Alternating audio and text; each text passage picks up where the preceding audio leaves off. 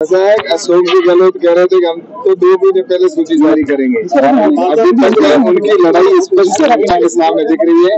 और भारतीय जनता पार्टी है, वो निश्चित रूप से जो हमारे जिन्होंने काम कर रहे हैं, कार्यकर्ताओं के ऊपर सबसे सर्वे करके और प्रत्याशियों को चयन करके आज सूची जारी हुई है और निश्चित रूप से सब उत्साह है और भारतीय जनता पार्टी रिकॉर्ड बहुमत के साथ में जीतेगी क्योंकि अशोक गहलोत की सरकार ने इन पौने पाँच साल के अंदर जो राजस्थान की जनता को जिस तरह से खून के आँसू रुलाने का काम किया है, और इसलिए जनता चुनाव का इंतज़ार कर रही थी, और कल आपने कुछ चैनलों के सर्वे में भी देखा होगा कि भारतीय जनता पार्टी की स्पष्ट बहुमत की सरकार बन रही है। ज्योति मिर्ज़ा को टिकट मिला है, जाट नेता है, और है हनुमान रविवार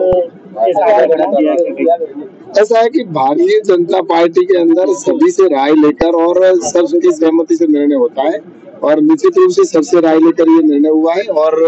जनता की भावना के अनुसार हुआ है। इसलिए मैं कह सकता हूँ कि निश्चित रूप से राजस्थान के अंदर रिकॉर्ड होने से